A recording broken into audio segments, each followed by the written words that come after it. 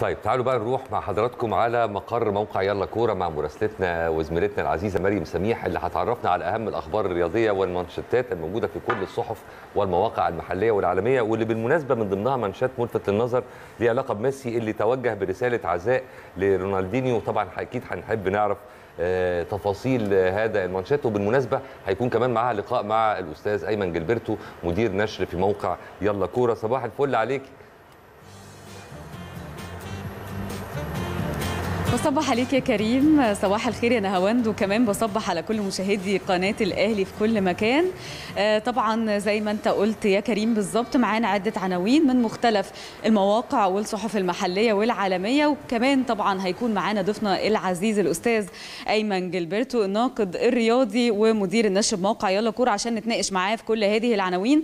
ولكن زي ما إحنا متعودين خلينا الأول نفكر كل مشاهدينا في بداية فقرة الصحافة بأبرز مباريات اليوم في الدوري المصري سموحة والمصري في تمام الساعة السابعة والنصف مساء. كمان سيراميكا كليوباترا وغزل المحلة في تمام الساعة الثانية والنصف ظهرا. كمان في الدوري الإنجليزي برايتون وكريستال بالاس في تمام الساعة العاشرة مساء. وفي الدوري الإسباني أوساسونا وإشبيلية في تمام الساعة العاشرة مساء. كمان من الدوري الإيطالي يوفنتوس وكروتوني في تمام الساعة العاشرة إلا ربع مساء. خلينا ننتقل لأبرز العناوين اللي هتكون معانا النهارده في فقرة الصحافة. من الشروق بواليا يقود هجوم الأهلي أمام سيمبا اتجاه لتأمين وسط الملعب. عبد الحفيظ مواجهة بطل تنزانيا لن تكون سهلة والمنافس يعيش فترة فنية مميزة. ولا يوجد أي شكوى رسمية بخصوص لقاء المريخ. أما من موقع يلا كورة قائمة المحترفين وإجراءات كورونا يلا كورة يكشف كواليس تنظيم معسكر منتخب مصر. كمان من اليوم السابع مدير بطولة كأس العالم للرماية يكشف تفاصيل البطولة وآخر الاستعدادات للتنظيم. وأخيرا من بوابة أخبار اليوم ميسي يوجه رسالة عزاء لرونالدينيو. طبعا بيشرفنا ان يكون معانا الأستاذ أيمن جilberto طبعا يعني الناقد الرياضي ومدير نشر بموقع يلا كورة علشان نتناقش معاه في كل هذه العناوين. بصبح بيك بصبح عليك طبعا في البداية يا آيمن. والبداية دايما معانا عن الأهلي. مباراة غد. يمكن يعني في عدة عناوين سواء العنوان الرئيسي أو العناوين الفرعية. بواليا يقود هجوم الأهلي. كمان زي ما إحنا اتكلمنا قبل الهوا يمكن كنا بنتكلم عن كان في اختلاق أزمة يعني إعلامية ولكن على أرض الواقع ما كانتش موجودة بخصوص مباراة المريخ. عايزة أعرف رأيك بخصوص الموضوع ده. طبعا أهلا بيكي واهلا بكل مشاهدي ومتابعي قناة الأهلي وكريم ونهاوند آه طبعا مباراة النادي الأهلي بكرة هي مباراة مهمة جدا. آه ناخد من تصريحات كابتن سيد عبد الحفيظ إن فعلا سيمبا التنزاني الفترة دي بيعيش آه فترة مميزة. الفريق كان قبل المباراة بتاع دوري أبطال أفريقيا عمل دورة ودية كده عنده. كان في مازيمبي وكان في الهلال السوداني. كمان عندهم حضور جماهيري قوي جدا في المباريات. هم هناك شوية بيتعاملوا إن ما يعني ما فيش كورونا ما فيش مشاكل بخصوص كورونا وبالتالي الإجراءات عندهم أقل كتير من الإجراءات اللي في العالم كله يعني. فالنهاردة الأهلي عنده مهمة مش سهلة المنافس ممكن يكون معروف للناس إن هو يعني منافس مش قوي قوي لكن على أرض الواقع لأ هو منافس قوي. كسب أول مباراة خارج ملعبه. هم كمان عاملين أجواء خاصة جدا للمباراة. تذاكر طرحوها للبيع. في وزراء أعلنوا إن هم هيحضروا المباراة. المسؤول هناك في النادي قال إن المباراة دي متوقع إن يشوفها مليار شخص. يعني هم بيتكلموا إن بطل افريقيا عندهم كبير افريقيا موجود عندهم هم عايزين يبقوا خير تمثيل لتنزانيا. اطلقوا عليها مباراة الحرب مباراة اللا يعني نقطة اللا عوده حاجات كتير. بس هم بيطلقوا الحاجات دي كنوع من أنواع التحفيز. هم مش جمهور يعني أو مش عن مش ناس عدوانية في الكورة أو لا هم ناس تلعب كورة ممتعة. جمهورهم ممتع جدا في المدرجات. حتى ممكن النادي الأهلي يلاقي إن في دعم من النادي المنافس لسيمبا التنزاني يانج افريكانز في المدرجات. فهي هتبقى أجواء مثالية إن الأهلي يلعب فيها. إن شاء الله حتى الملعب كويس. إن شاء الله النادي الأهلي يقدر إن هو يخرج بنتيجة إيجابية يقدر يخرج بالمكسب. ست نقاط يعني قربوه خطوة إن هو يريح نفسه في المجموعة وبالتالي الفرص تبقى أسهل في الصعود لدور الثمانيه إن شاء الله يعني.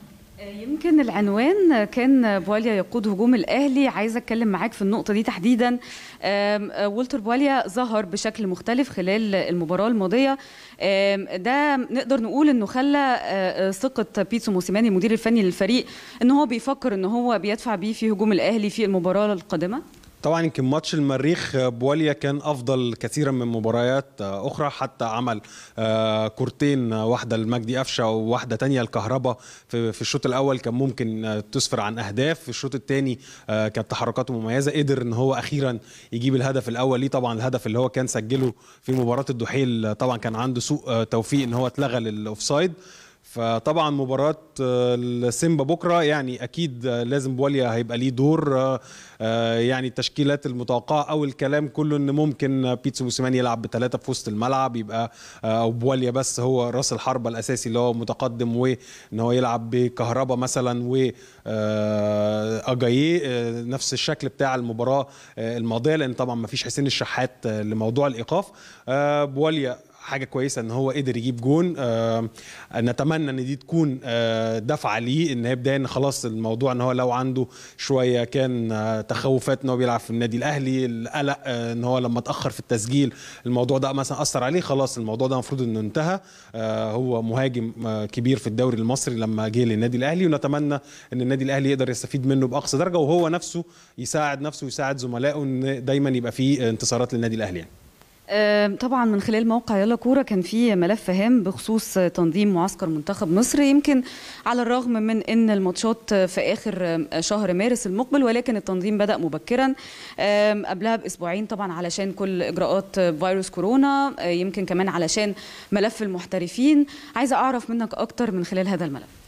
طبعا الكابتن حسام البدري والجهاز الفني للمنتخب عملوا جلسة مع اللجنة الثلاثية في اتحاد الكره يبتدوا يحطوا الخطة إزاي المنتخب هيستعد لمباراتي كينيا وجزر القمر في تصفيات المؤهلة لأمم أفريقيا.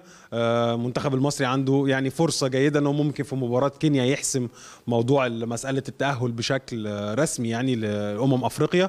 وبالتالي دلوقتي هي كلها إجراءات بنتكلم عن الإجراءات الإدارية. مثلا أعداد اللعيبة ممكن تبقى قد إيه الطيران هيبقى عامل إزاي؟ وبنسبة كبيرة طبعا السفر هيبقى بطيارة خاصة عشان الظروف اللي في العالم دلوقتي وتبقى دي أسهل للمنتخب خصوصا إن كمان الفرق ما بين مباراة كينيا وجزر القمر مش كبير. بالنسبة للمحترفين هو الموضوع شبه يعني محسوم طالما ما فيش إصابات ما فيش مشاكل. هيبقى صلاح وتريزيجيه وكوكا ومصطفى محمد والنني وأحمد حجازي.